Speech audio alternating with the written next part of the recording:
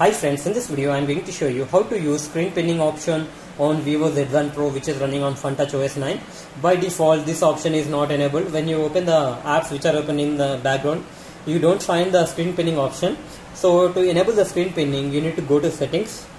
Under settings, you need to click on security and privacy. Under security and privacy, you need to scroll down and click on more security settings. Under more security settings, you will find an option called screen pinning. You need to click on that and you need to enable screen pinning. Click on on and you have the option to re- request unlocking before unpinning screen. You have to enable this option also for security purpose.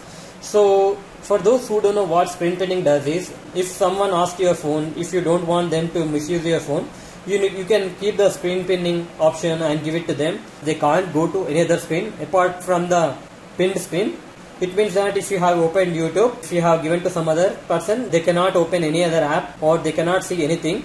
Once they try to go to other page, it will ask you to enter the password. So it is quite handy.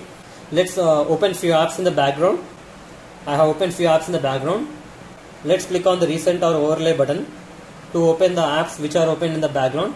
Here are the apps which are open in the background. Here you can see the screen pin. If you want to log the YouTube, you can do that. Simply click on that and you will be given message. After the screen is fixed only the interfaces related to this app can be displayed. Okay? Click on ok. Now here you can see that if you have screen pinned youtube you can't go to any other app. Here you can see that these buttons will not work. To cancel the fixed screen please press power key and volume up key. So you need to unpin the screen. You need to press the power button and volume up button here you can see that the screen is unlocked. Now you can see the lock screen. And now you need to enter the pattern.